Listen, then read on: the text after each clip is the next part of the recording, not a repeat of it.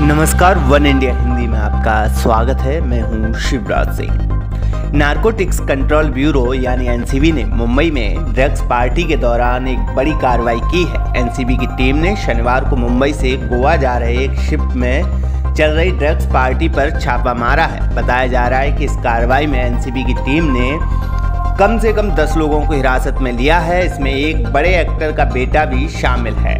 इसके अलावा छापेमारी के बाद बड़ी मात्रा में कोकीन, हशीश एमडी जैसे ड्रग्स को भी बरामद किया गया है।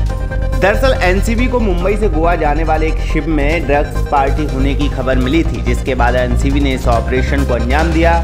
बताया जा रहा है कि एनसीबी की ये छापामार कार्रवाई सात घंटे से अधिक समय तक जारी रही। जिस शिप पर छापा मारा गया है, वो मुंबई से गोवा जा रही थी।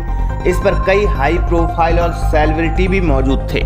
मीडिया रिपोर्ट्स के मुताबिक एनसीबी के जर्नल डायरेक्टर समीर बानखेड़े ने इस ऑपरेशन को अंजाम दिया है। वो अपनी टीम के साथ यात्री बनकर शिप पर सवार हुए।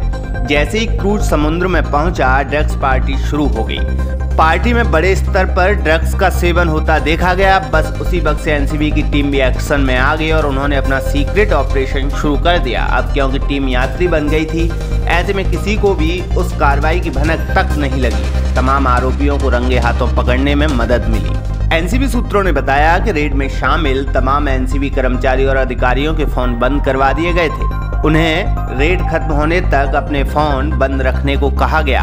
हालाँकि अभी ये कंफर्म नहीं है कि हिरासत में लिए गए बॉलीवुड एक्टर के बेटे ने ड्रग्स का सेवन किया था या नहीं। क्रूज को वापस मुंबई लाया गया है। हिरासत में लिए गए सभी आरोपियों को रविवार को कोर्ट में पेश किया जाएगा। क्रूज पर सवार सभी लोगों का डोप टेस्ट किया जा सकता है। इस खबर में फ़िलहाल इतना ही। तमाम अपडेट के लिए बने रहिए वन इंडिया हिंदी के साथ।